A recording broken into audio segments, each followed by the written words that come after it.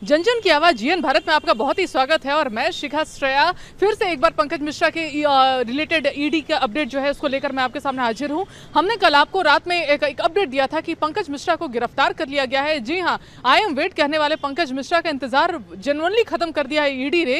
ED ने उन्हें देर रात करीबन नौ बजे के आसपास गिरफ़्तार कर लिया और गिरफ्तारी के बाद वो कोतवाली थाना लेता है। अभी आप देख सकते हैं हमारे विजुअल के माध्यम से मैं दिखाना चाहूँगी अपने सहयोगी से कि मैं, मैं कोतवाली थाना में मौजूद हूँ। इसी कोतवाली थाना में पंकज मिश्रा को लाया गया जहाँ पर आ, ऐसा आ, कहा जा रहा था कि मेडिकल चेकअप हुआ है लेकिन मेडिकल चेकअप अभी तक नहीं हुआ है। और जब वो यहाँ लाए गए तो आ, कल हमने आपको विजुअल के माध्यम से भी दिखाया था कि जब वो ईडी ऑफ़िस घुसे थे तो बड़े खुश और बहुत स्माइल के साथ और मीडिया को हाथ खिला के अभिनंदन भी दिया था।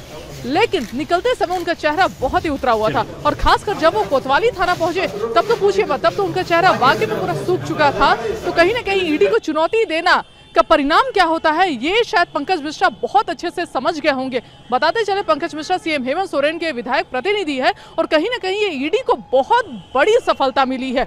जी हाँ हमने आपको पहले भी बताया था कि जितने भी इनसे रिलेटेड थे, संजय दीवान सबसे पूछताछ ईडी कर चुकी है और जिसमें संदेह था, जी हाँ ईडी ने इस बार कोई भी साक्ष्य को नहीं छोड़ा है, जिस पर हल्का सा भी संदेह है, जैसे हमने बताया कि बहुत सारे व्यवसायी थे, बच्चू यादव हो गए, लल्लू यादव हो गए, इस तरह के जिसमें संदेह सबको समन किया है, सबको लाया है, सबसे पूछताछ की है, सारे डॉक्यूमेंट्स इकट्ठा करिए लास्ट में पंकज मिश्रा से, आपको बता दें कि इतनी जल्दी गिरफ्तारी अभी तक नहीं हुई है पूजा सिंगल को भी जब गिरफ्तारी किया गया था तो कम से कम एक हफ़्ते लगातार उनसे पूछताछ हुई थी एक दो हफ़्ते पूछताछ के बाद उनको गिरफ़्तार किया गया था, लेकिन पंकज मिश्रा के केस में ऐसा नहीं हुआ।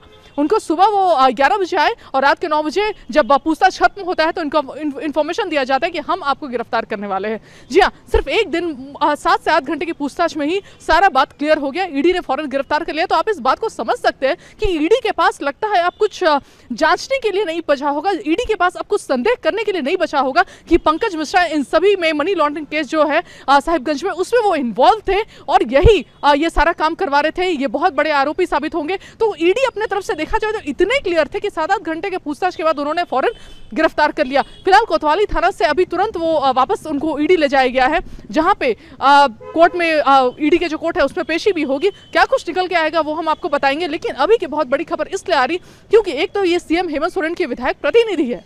जी हाँ और दूसरी बात है कि, बात है कि पूजा सिंघल से जो भी चीज़ निकल के सामने आई थी, वो लिंक सीधा पंकज मिश्रा तक गया है।